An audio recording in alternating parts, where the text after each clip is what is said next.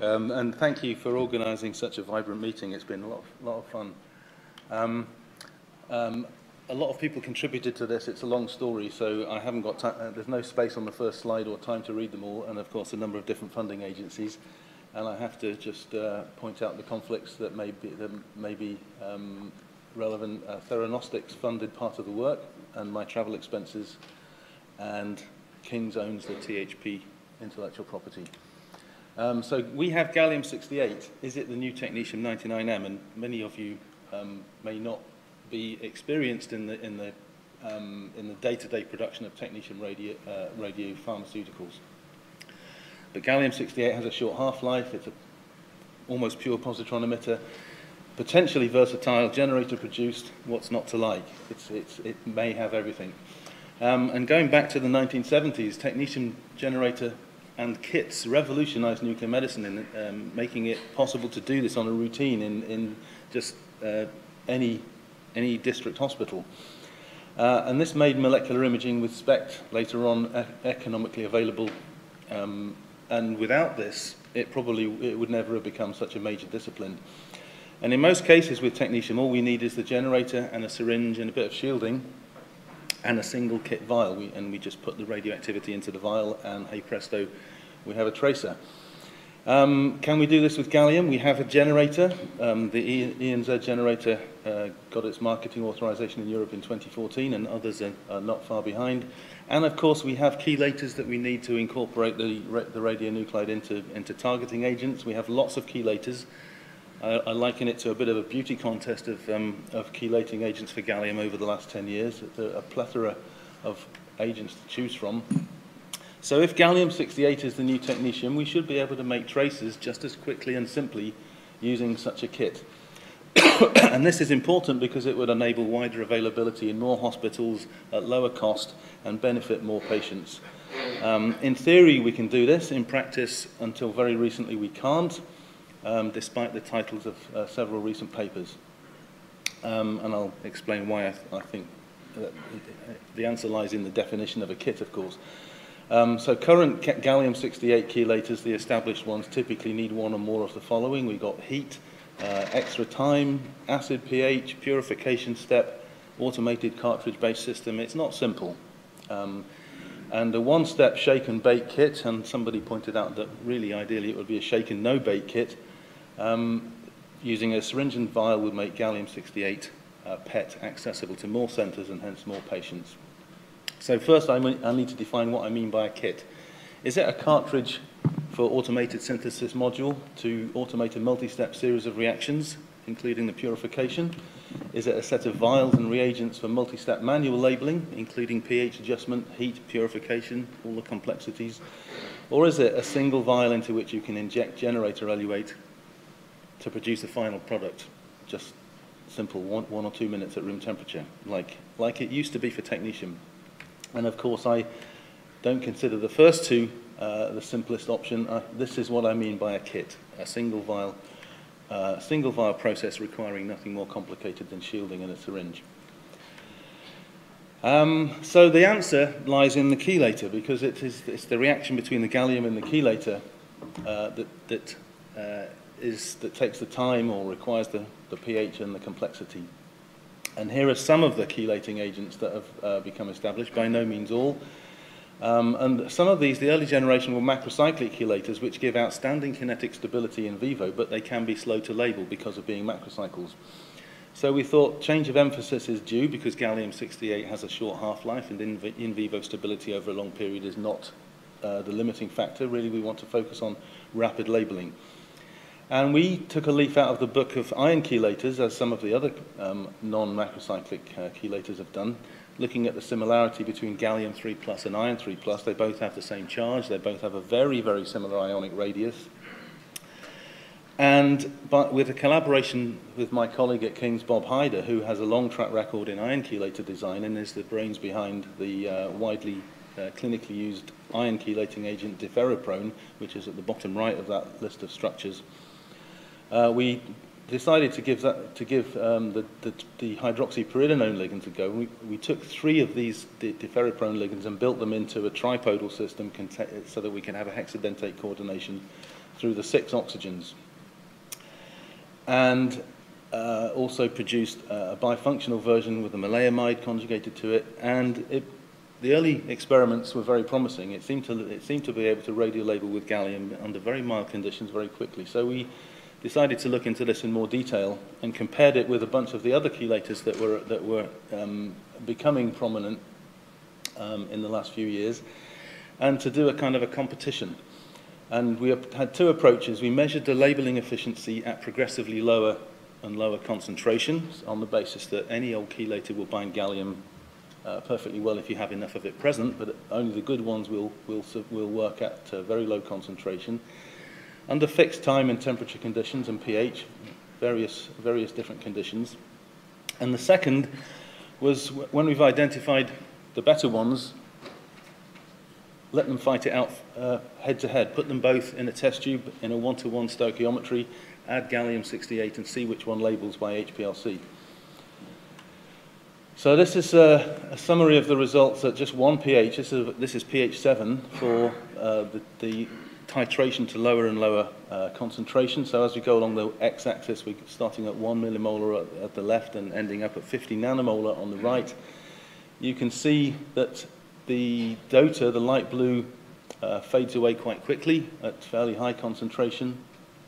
Uh, NOTA is, uh, and uh, trap ligands are not far behind, but a group of them, all, all non-macrocyclic, uh, actually not, uh, some non-macrocyclic ligands survive at, until quite low concentration.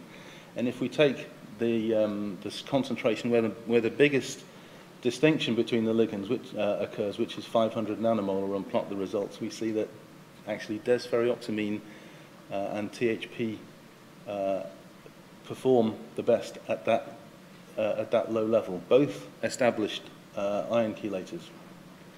And some of the macrocyclic ones fade away very quickly. So picking out some of the better ones uh, for competition, this is, the, this is where we put two ligands in a test tube and let them fight it out and, when, and uh, analyze the results by HPLC. Um, so here's an example. This is the, uh, the, as, as we heard earlier on, uh, the HBED chelator um, forms a number of um, geometric isomers, so we don't get a single peak on the HPLC, but nevertheless it is characteristic.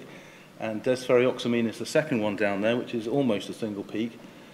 Um, if we put those two together at pH 7 we, uh, or pH 4, we see essentially uh, a mixture of the two. We see all of the peaks for both DFO and HBED, and pretty much the same results happen at pH 4 and pH 7. So that's just there to illustrate the methodology.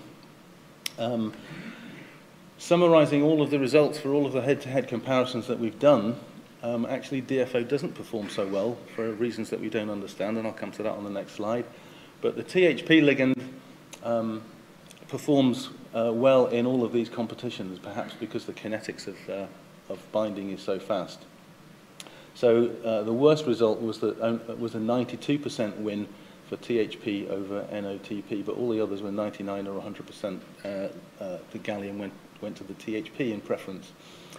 And there's a whole array of other data there, um, which um, I don't have time to go through. Um, there are some anomalies, of course. DFO performed very well in the first assay, but not so well in the second. And of course, it is complicated. There, there are pH effects. We, we have we're looking at a, not really at a. This is not a, a kind of um, rigorous chemistry experiment. We're not focusing on either kinetics or thermodynamics. We're looking at a balance of the two. Um, there are contaminating metal ions uh, derived from the generator, especially titanium and uh, quite a bit of lead. And these will have different affinities for the different chelators, so there'll be different levels of competition. The experiments illustrate a practical situation rather than uh, a theoretical chemistry approach. And of course also with different um, processing steps after generator elution uh, with different solvents, uh, uh, solvent-containing generator eluates may give different results as well. Um, still, we stuck with the, with the THP because of this easy labeling, and it's and, just this, this slide is here just to illustrate one additional interesting uh, property. It can chelate gallium in vivo, uh, including gallium that is already um, attached to uh, transferrin in blood. So this experiment involved um, injection of gallium acetate directly from the generator, uh, waiting 45 minutes, and you can see slow blood clearance during that 45 minutes. And then at 45 minutes, we inject a small amount of the THP chelator. Um, we, it says 20 micrograms there, but we've gone and uh, made this experiment work as low as one microgram.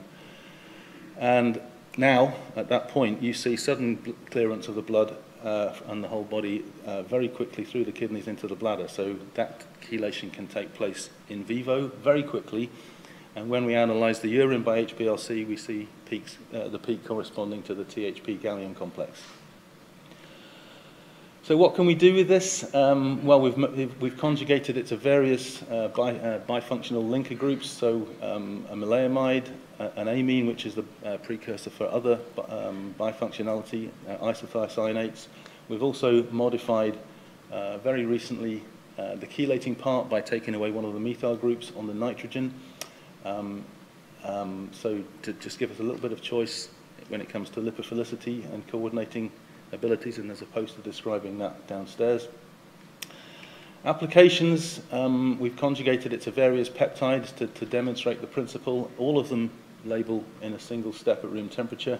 So um, somatostatin analog, um, an RGD peptide, and various more complicated derivatives with three peptides or another one which I've not shown from Michelle Ma, which has got three of the chelating agents as well, so just to get very esoteric. Uh, we can label proteins, and because of the mild conditions, pH 7, room temperature, um, we can label proteins, so you can label a whole antibody. If there was ever a need to label a whole antibody with gallium-68, that's really just there for proof of principle, but very potentially useful for, for antibody fragments, where the biokinetics is much faster and suitable for the uh, half-life of gallium-67. And we can label proteins, again, in a single step by taking a conjugate and just adding gallium, and you get 90, uh, 95 plus percent yield. Uh, and this, this example is an anti-PSMA uh, single-chain antibody fragment uh, which, which targets the, uh, the prostate cancer. So uh, labeling proteins is a, probably uh, a unique um, uh, capability. So the most, you, you heard about the, uh, the clinical uh, trial yesterday with, uh, with the THP PSMA conjugate. This is the molecule, the, the standard uh, THP targeting agent with the chelator attached. Um, in mice, uh, with tumours expressing PSMA, it behaves more or less indistinguishably from the HBED.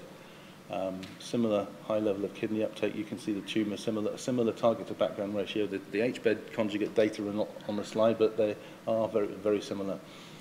Um, on the, some of the data are also on a poster downstairs. Um, and it can be labeled on a simple kit basis. You, have a, you, can, you can have a kit that contains sufficient material to label uh, with the entire elution uh, volume from the Eckert and Ziegler generator, which is 5 mils. Um, so contains the, the conjugate and some, some bicarbonate to neutralize the acid and some buffer to finally uh, control the pH. Two-minute incubation gives you essentially 100% yield, uh, so there's no need for any further purification. Um, and we can do the same with the IRE generator, which has an elution volume of 1 mil with a slightly modified kit. And um, just to take it to the extremes, you can actually have an evacuated vial version, which you just plug onto the end of the generator so there's no uh, minimize finger dose, minimize the risk of incorrect volume manipulation. Just elute the generator directly into the vial and the kit is ready um, and passes an ITLC test. So that is what we call, that's what I call a kit-based labeling. Now, of course, THP uh, is one of uh, several new ligands that may be able to um, produce this kind of uh, easy solution. Um, and it's, uh, the, the point is the principle of making uh, labeling very, very simple. And I'd be, just before finishing, I would like to just return to the topic of technetium and rhenium because that's where the, that's where the kit principle came from. But the simple chemistry, the simple manipulation that you do with technetium hides some very, very complex chemistry, much more complex than with gallium. So these, the old DMSA kit and DTPA and the, and the bisphosphonates, they all have unknown structures. The mechanisms of the reactions by which they're produced are a complete mystery. Um, they're a mixture of compounds and they certainly wouldn't be acceptable nowadays. So it seems that gallium has, uh, has now leapfrogged technetium because we now have both simple chemistry at the molecular level and easy to execute. Um, and I think looking at what's happened with technetium chemistry in the last 15 years, which is essentially nothing, um, we now need new technetium and rhenium to go with it for therapy uh, to catch up with the molecular imaging era because there is no syringe and vial method for technetium labeling method, uh, labeling of peptides and proteins, which, which is like the new uh, era of, of nuclear medicine. So with that thought, I'll, uh, I'll finish and thank you for your attention.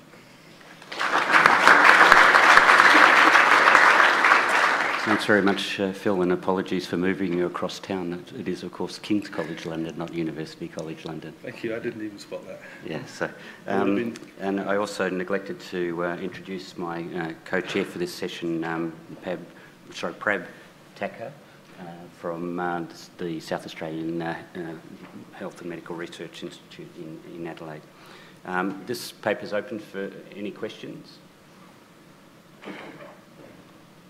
Per- Perhaps I'll start, uh, uh, Phil. Um, how much activity do you think you can put into to these vials and, and still get uh, labelling efficiency? Well, with the, the, the entire elution of the, of the generator, with the generators that we have, I mean, and, one day we, prob- we may have higher capacity generators with more activity and, and we don't know how that will perform, but at, the present time, all of the activity of the generator can be, can be uh, managed with one vial.